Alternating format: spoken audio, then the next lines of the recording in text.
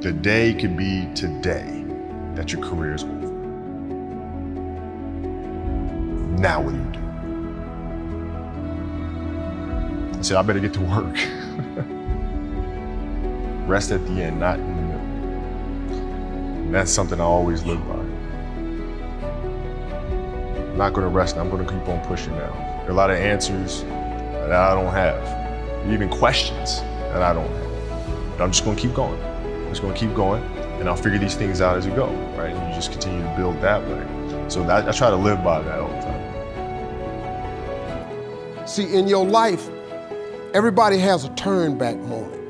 You have a moment where you can go forward or you can give up. But the thing you have to keep in mind before you give up is that if you give up, the guarantee is it will never happen. That's the guarantee of quitting, that it will never happen no way under the sun. The only way the possibility remains that it can happen is if you never give up no matter what. Because God is always coming. He's never too late.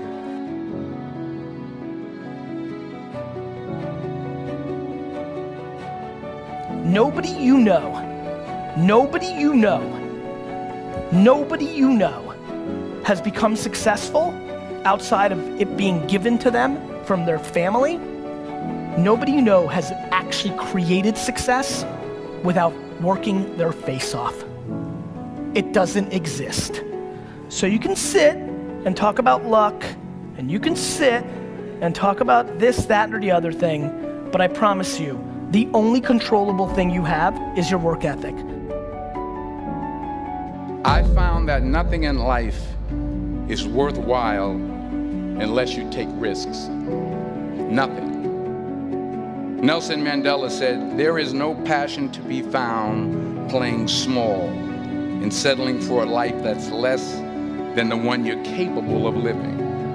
Now, I'm sure in your experiences in school and applying to college and picking your major and deciding what you want to do with life, I'm sure people have told you to make sure you have something to fall back on. Make sure you got something to fall back on, honey.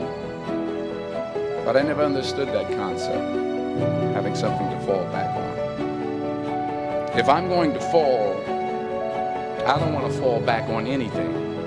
I want to fall forward. I figure at least this way I'll see what I'm going to hit. Good times create weak people. Weak people create bad times.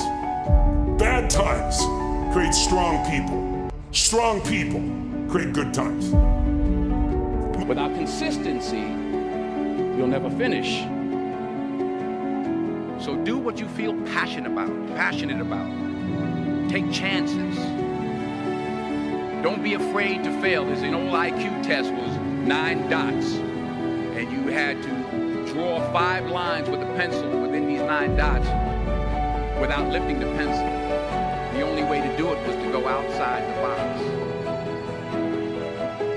Don't be afraid to think outside the box. Don't be afraid to fail big, to dream big. But remember, dreams without goals are just dreams. Winter's not forever. No pandemic lives forever. Everything changes and everything ends. And the good news about winter is it's always followed by springtime. What follows the night? The daytime. What a cool way to set it up if you were God or the universe. The first thing I do every single morning is I go in freezing cold water. And when you jump in, it never feels good to go in, but getting out, you feel incredible. But I, I do it for a different reason. I do it to train my brain to say, when I say now, it means now. When I say go, we go. I don't stand there because it's cold and go maybe in a minute when I'm ready. But I always do it because I've trained my brain, this is how we work. And if you train your brain to do that every single day, then it'll do it on the more difficult and important things in life.